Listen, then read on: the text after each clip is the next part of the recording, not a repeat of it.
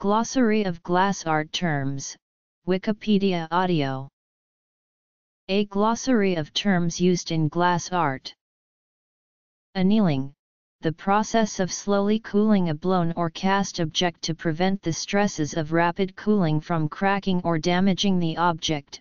Cane, rods of glass with color, either single or multiple, casting, any of several methods of forming glass in a mold, including the pouring of molten glass into a sand mold and the melting of glass cullet in a mold placed in a kiln, cullet, broken chunks of glass or waste glass suitable for melting or remelting, flame working, alternate name lamp working.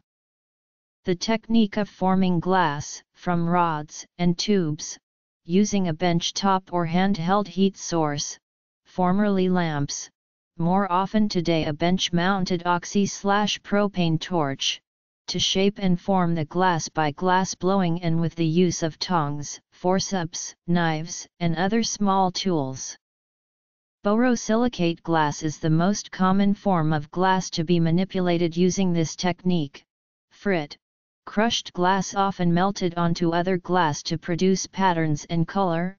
Incalmo, the grafting or joining together, while still hot, of two separately blown glass to produce a single.